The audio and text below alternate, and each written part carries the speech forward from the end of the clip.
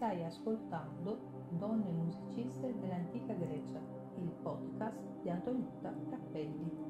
Episodio 1.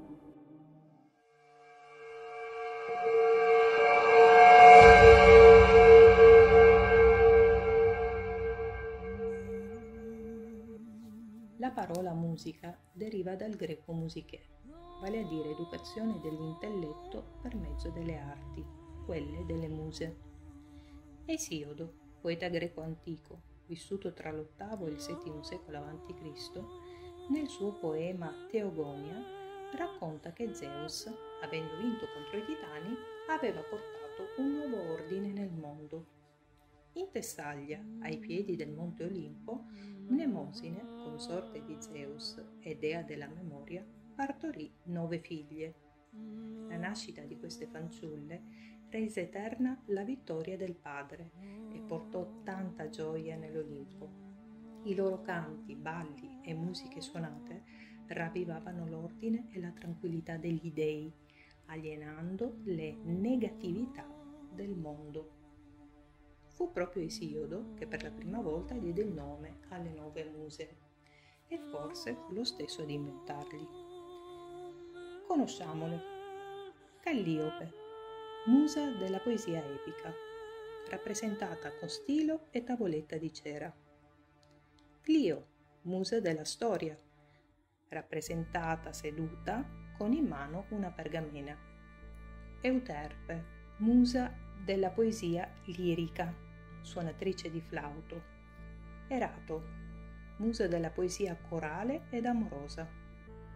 Melpomene, musa della tragedia, ritratta con maschera, spada e bastone di Eracle. Poligna, musa degli inni religiosi e dell'oratoria. Il suo nome significa proprio colei che ha tanti inni. Talia, la musa della commedia, indossa maschera comica e ghirlanda d'edera. Terzicore, la musa danzatrice. Urania, musa dell'astronomia, rappresentata con il globo in mano. La musica della civiltà greca, in epoca arcaica, vale a dire dalla nascita fino al VI secolo a.C., è un misto tra storia e leggenda. Intorno al XV secolo a.C., gli dei diedero origine agli strumenti musicali ed è importante notare che proprio Olimpo fu il creatore dei nomoi. Nomoi? Sì, sono delle melodie standardizzate, legate all'ethos, vale a dire all'etica, che variavano a seconda delle occasioni. Il termine nomoi significa proprio leggi. Platone li descrive come canti citaredici, cioè scritti per essere accompagnati dalla lira, probabilmente codificati da Terpandro, seguendo regole rigidamente codificate, con lo scopo di generare diverse emozioni. Sempre Terpandro classificò i nomoi in base alla provenienza delle aree geografiche in cui si praticavano.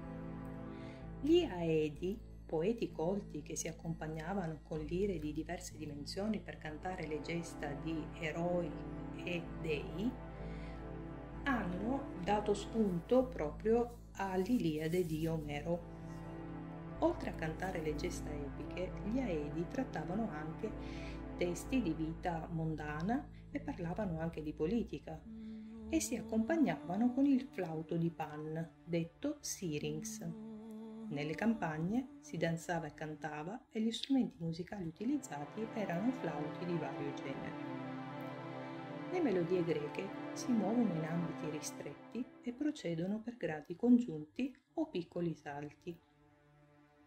Utilizzerò la terminologia odierna per indicare i suoni, sottintendendo il fatto che questa civiltà utilizzava le lettere dell'alfabeto fenicio per indicare i suoni della musica strumentale e quelle dell'alfabeto greco per la musica vocale. L'altezza delle note non era fissata, Al contrario, il rapporto intervallare risultava rigidamente codificato. Esso generava i modi e i generi. Fino al V secolo a.C. l'esecuzione musicale era libera e lasciata all'istinto dei poeti e musicisti. La poesia era indissolubile dai suoni e il ritmo della parola era fondamentale. I musicisti conoscevano la teoria delle armonie, ignorando i concetti di consonanza e di dissonanza. Nell'era della Grecia classica, Pitagora fu il primo matematico a fissare le distanze intervallari, traducibili in frazioni. Poi toccò ad Aristotene da Taranto, conosciuto come il primo musicologo e teorico della storia della musica a spiegare la teoria e le leggi armoniche in diversi trattati. Questi figura anche Frinide di Mitilene. Lo studio è ricco di indizi ricavati da fonti elleniche e che mettono in luce una differenza tra musica antica, che risulta essere legata alla poesia, e le nuove tendenze, cioè dare più spazio alla musica e al mimetismo, vale a dire la riproduzione di voci e suoni naturali con gli strumenti musicali. Le funzioni svolte dal poeta erano molteplici, compositore della musica per la sua opera e coreografo anche delle danze.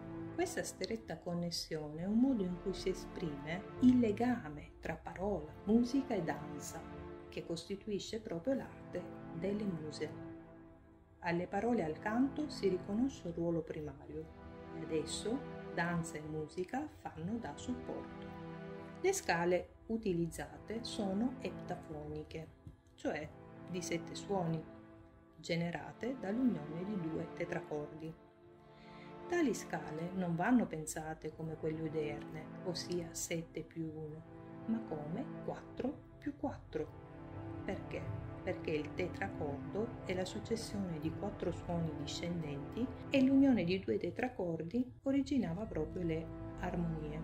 Esiste un interessante studio di Amedeo Visconti intitolato Aristotene da Taranto e pubblicato da Publication du Centre Jean Bérard di Napoli nel 1999. Amedeo scrive nella seconda metà del V secolo a.C. sono attivi rappresentanti della musica nuova, tra questi figura anche Frenide di Mitilene.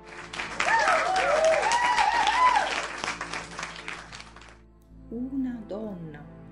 Lo studio è ricco di indizi ricavati da fonti elleniche e che mettono in luce una differenza tra la musica antica, che risulta essere legata alla poesia, e le nuove tendenze, cioè dare più spazio alla musica e al mimetismo, vale a dire riproduzione di voci e suoni naturali con gli strumenti musicali. Le funzioni del poeta erano molteplici. Il poeta era il compositore della musica per la sua opera e anche coreografo delle danze. Questa stretta connessione tra i diversi elementi è un modo in cui si esprime proprio il legame stretto tra parola, musica, danza e quindi questo non è altro che l'arte delle muse. Alle parole e al canto si riconosce un ruolo primario e adesso danza e musica fanno da supporto. Cambierà qualcosa in età ellenica. Bene, adesso parliamo delle scale, dette anche armonie. Le scale sono eptafoniche, cioè costituite da sette suoni e generate dall'unione di due tetracordi. Ma cos'è il tetracordo? È una successione di quattro suoni discendenti compresi in una distanza di quarta giusta. I suoni potevano legarsi l'uno all'altro a distanza di tono, semitono e un quarto di tono. Ecco che a seconda degli intervalli che legavano i tetracordi si ottenevano i tre generi diatonico, cromatico ed enarmonico. Il genere diatonico era costituito da due intervalli di tono e uno di semitono. Un esempio, Mi, Re, Do, Si. Il genere cromatico invece era costituito da un intervallo di terza minore e due semitoni. Per esempio, Mi, Do diesis, Do e Si. Il genere enarmonico invece era costituito da una terza maggiore e due intervalli di quarto di tono. Mi, Do, Si più un quarto di Si. Ogni genere poteva essere unito, generando le armonie, cioè, come ho già detto prima, le scale. Le armonie principali erano tre. Dorica, Frigia e Lidia. Ascoltiamo quella dorica.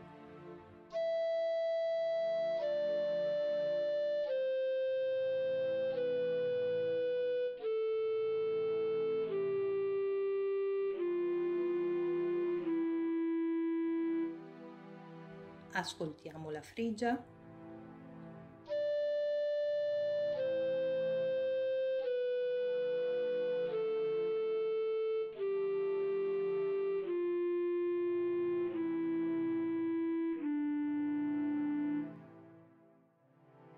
Ascoltiamo la Lidia.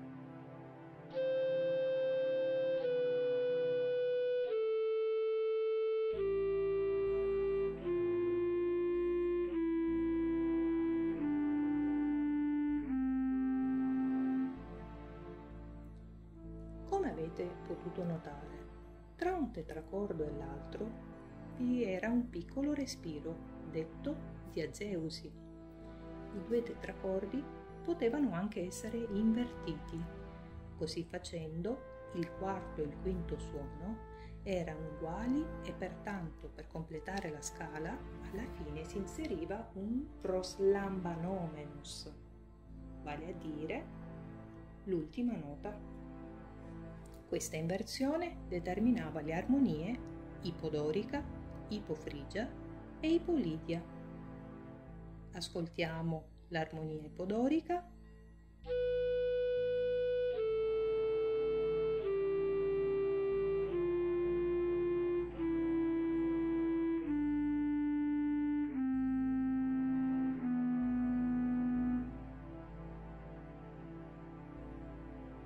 Ipofrigia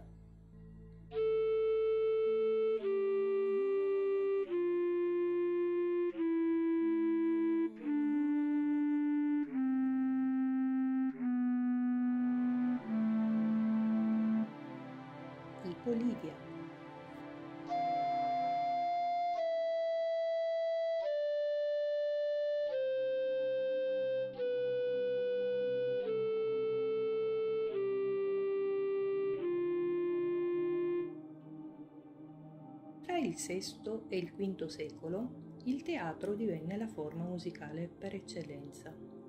Siamo proprio nel periodo classico e Aristotele afferma che la tragedia nasce nel Peloponneso dal ditirambo, canto corale in onore di Dioniso.